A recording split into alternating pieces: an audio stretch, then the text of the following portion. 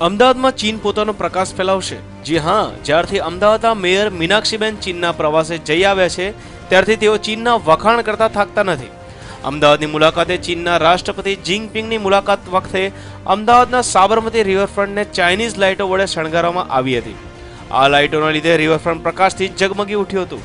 હવે અમદાવાદના મેયર મીનાક્ષીબેન આવનાર કાંકરિયા ફેસ્ટિવલ વખતે કાંકરિયા અને રિવરફ્રન્ટને ફરીવાર આ ચાઇનીઝ લાઇટો વડે શણગારવાનું વિચારી રહ્યા છે. અમારી ખૂબ સુંદર રીતે અમે ઉજવણી કરી રહ્યા છીએ અને પચીસથી ત્રીસ લાખ લોકો આની અંદર આવે છે અને ભાગ લે છે અને અહીંયા વિઝિટ કરે છે. ફ્રી ઓફ ચાર્જ તો એ લોકોને ખૂબ આશ્ચર્ય થયું કે ફ્રી ઓફ કોસ્ટ અમે કીધું, હા, અમે કોઈ પણ ચાર્જ લીધા વગર આ સાત દિવસ અમે બધાને એન્ટ્રી આપીએ છીએ અને બધા ખૂબ શાંતિથી અને સારી રીતે એન્જોય કરે છે, બધું જોવે છે, ફરે છે, કાંકરિયાને માણે છે.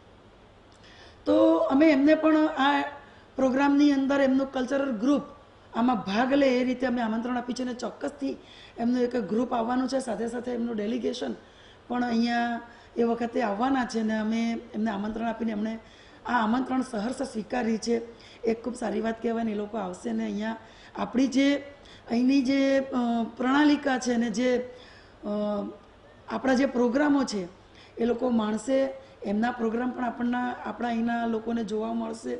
એક ખૂબ સારું અમને એ કાંકરિયા કાર્નિવલ અને રિવરફ્રન્ટ પરના આ લાઇટિંગ પ્રોજેક્ટને વિરોધ પક્ષ વખોડી રહ્યું છે. વિરોધ પક્ષના નેતા બદરુદ્દીને ચાઇનીઝ લાઇટોની આવરદા પણ સવાલ ઉઠાવ્યા છે.